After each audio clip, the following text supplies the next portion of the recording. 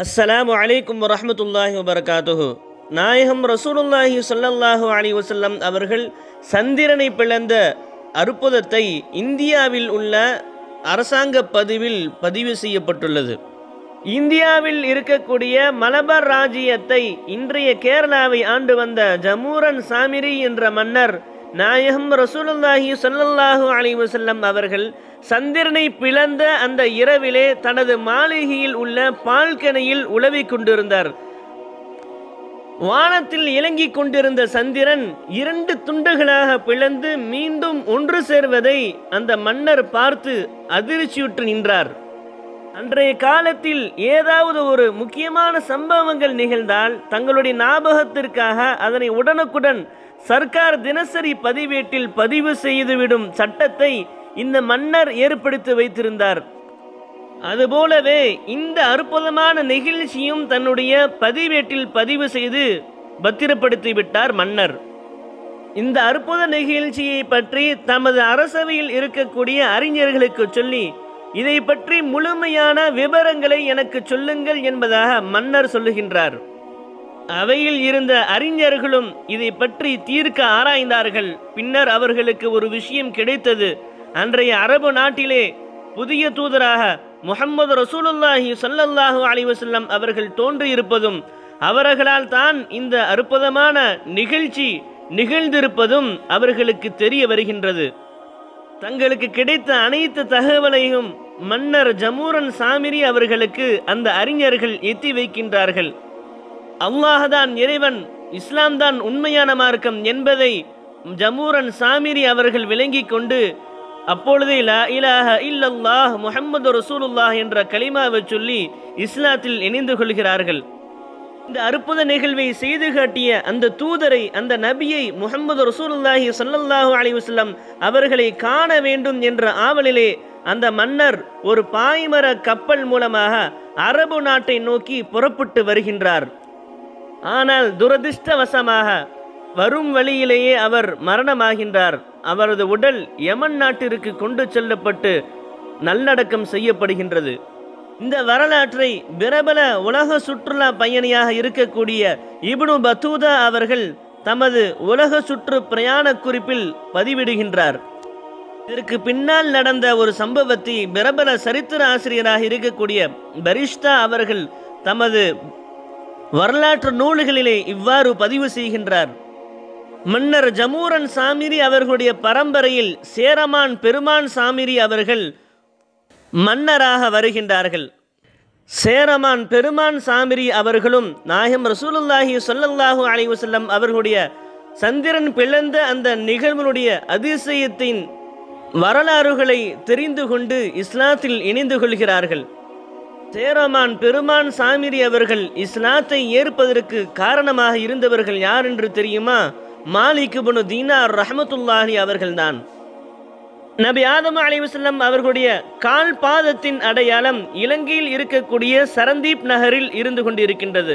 அன்றைய காலத்தில் அரபியர்களும் அரபி அல்லாதவர்களும் இலங்கையில் சரந்தீப்பையில் சென்று நபி ஆதம் அலிவசல்லம் அவர்களுடைய கால்பட்ட அந்த பாதத்தை பார்த்துவிட்டு செல்வது வளமையாக இருந்து கொண்டிருந்தது. இந்த பாத அடையாளங்களை பார்ப்பதற்காக மாலிகுபுனு தீனார் ரஹமத்துல்லாஹில் அவர்கள் குழுவில் சேர்ந்த சிலர் கப்பலில் ஏறி இலங்கையை நோக்கி வந்து கொண்டிருந்தார்கள். ஆனால் கப்பல் திசை மாறி மலபாரை நோக்கி கேரளாவை நோக்கி சென்று விடுகின்றது. கள்ளிக்கோட்டை துறைமுகத்திலே மாலிகிபுன் தீனார் ரஹமத்துல்லாஹிலி அவர்களுடைய குழுவினர்கள் வந்து இறங்குகின்றார்கள். அங்கு இறங்கிய அந்த குழுவினரை மன்னர் சேரமான் சாமிரி அவர்கள் அன்புடன் வரவேற்று அவர்களுக்கு தங்குவதற்காகவும் உணவு ஏற்பாடுகளையும் செய்து உபசரித்து கண்ணியப்படுத்தினார் மன்னர். அன்று நடந்த விருந்திலே மன்னரும் அந்த குழுவினர்களும் பல விஷயங்களை பற்றி பேசிக் கொண்டிருந்தார்கள். இடையில் மன்னர் கேட்டார் நீங்கள் எந்த மதம் என்று சொல்லுங்கள் என்பதாக. அந்த குழுவினர்கள் சொன்னார்கள் நாங்கள் இஸ்லாம் மதத்தைச் சேர்ந்தவர்கள். முகமது ரசூலுல்லாஹி சொல்லல்லாஹு அலைவசல்லம் அவர்களை தூதராக ஏற்றுக்கொண்டவர்கள் என்பதாக கூறினார்கள்.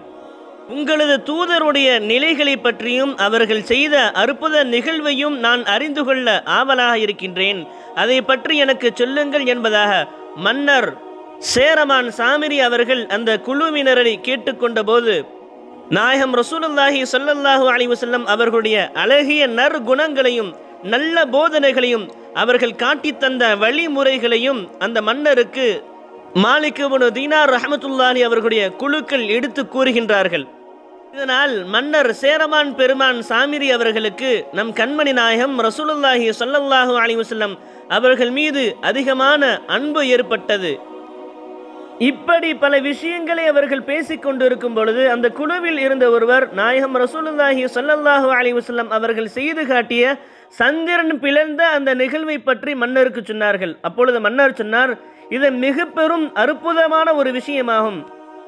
எங்கள் அரசாங்கத்தின் சட்டப்படி அன்றைய காலத்திலிருந்து இன்று வரை ஏதாவது ஒரு முக்கியமான நிகழ்வுகள் ஏற்பட்டிருந்தால் அதை தினசரி குறிப்பேட்டில் பதிவு செய்வது எங்கள் அரசியல் சட்டமாக இருக்கின்றது.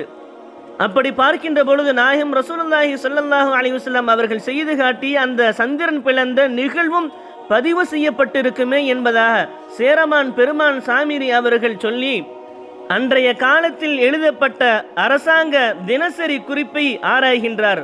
அப்பொழுது நாயகம் ரசூலுல்லாஹி சல்லல்லாஹு அலி வசல்லம் அவர்கள் செய்து காட்டிய சந்திரன் இரண்டு துண்டாகி ஒன்று கூடிய அந்த நிகழ்வு அதில் எழுதப்பட்டிருந்தது.